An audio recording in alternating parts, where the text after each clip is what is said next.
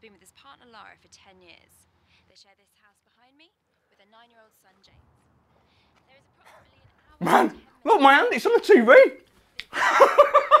Just stay away from the window, Chris. Oh! Come on, just hurry.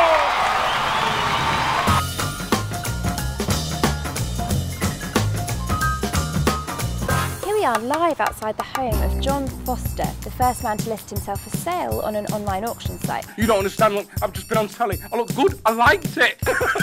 I, I just think this has to stop Mr. now. Foster, you seem to have captured the imagination of the general public with your online auction. I think that anything happens for a reason, so maybe I was just meant to be a celebrity.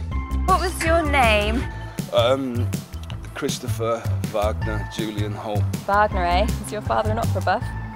No, um, he was a fan of Robert Wagner from Hart to Hart. We've got to show a united front here. John Foster, the family man. Have you still got that dress? You know, the one with the, um... Send those people home. It's not right. This is just publicity, free advertising. Get me somebody who can talk rubbish.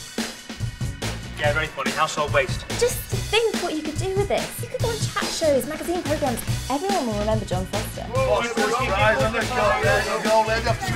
50,000 quid? But you never thought you were worth that much. The message you're sending out to the world. It's hardly the world. Mate, you are everywhere on every single channel. And do you know Mr. Foster? John Foster.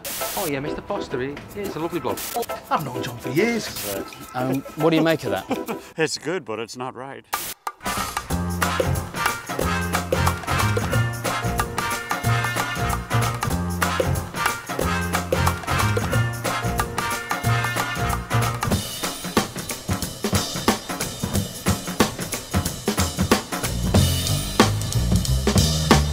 So if you have a spare million kicking about, get in touch now. Get online and bid, and this might be yours. What's the worst that can happen?